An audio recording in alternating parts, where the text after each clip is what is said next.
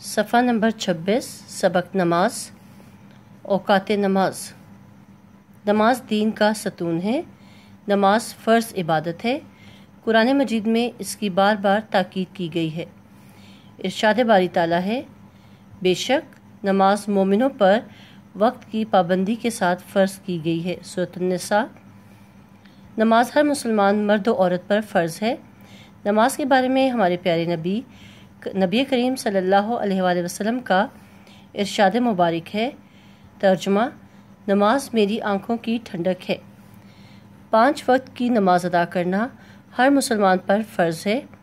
अल्लाह ताला ने नमाज़ों के औकात भी मुकर कर दिए हैं ताकि हम वक्त पर नमाज़ अदा करें और नज्म ज़ब्त और वक्त की पाबंदी के आदि भी हो जाए।